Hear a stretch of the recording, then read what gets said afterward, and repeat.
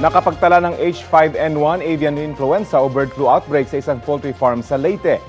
Ayon sa World Organization for Animal Health, mahigit 4,000 sa mahigit 60,000 na manok sa naturang farm ang namatay base sa ulat ng mga otoridad doon.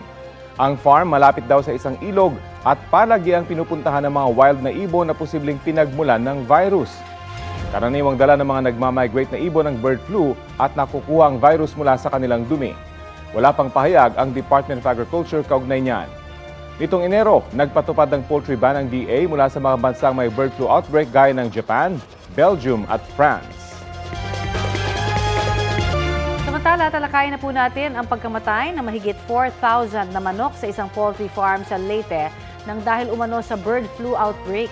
Nakasalang sa balitang hali si Department of Agriculture spokesperson Asek Arnel de Mesa. Magandang umaga at welcome po sa balitang hali. Magandang umaga, Rafi and Connie. Magandang umaga po sa lahat ng nanonood at nakikinig. Good morning sa inyo, ASEC. Sa monitoring po ng DA, kumpirmado na ho ba na may H5N1 avian, sa, o avian influenza o bird flu outbreak po sa isang poultry dyan sa Leyte? Uh, tama yun, Connie. Ito ay nangyari noong first week pa ng March at na-confirm natin sa laboratory report noong March 19 at uh, mahigit sa uh, kulang-kulang limang libong manok. Ito ay bang uh, broiler breeders ang tawag natin dito sa mga manok na to na confirm na mayroong uh, avian influenza at uh, mahigit sa 50,000 din yung uh, nakal na at contain na itong area natin dito sa Leyte. Okay. Ano po yung uh, pamantayan para makonsider na may bird flu outbreak na sa isang lugar, sir?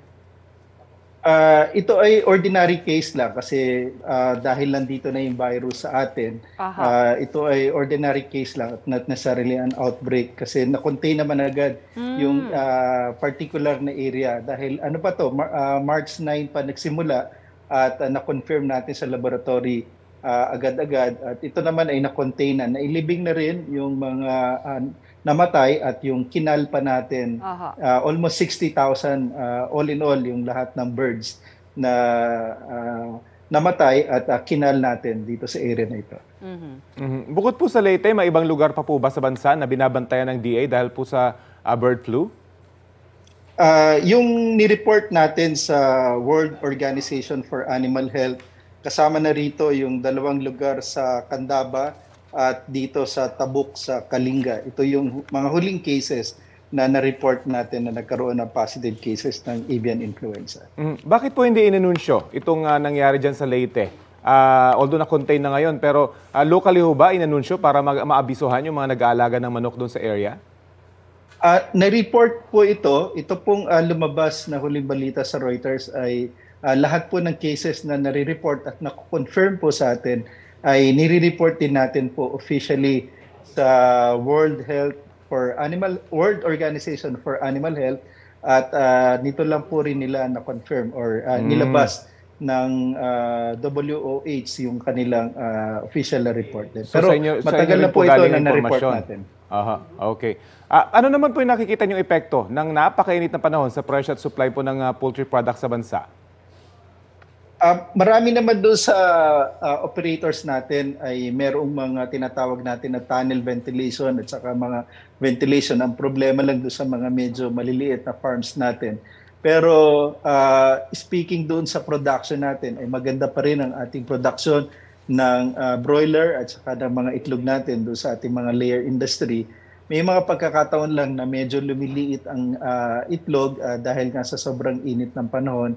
Pero in terms of uh, productivity at supply ng manok at itlog ay okay pa naman tayo.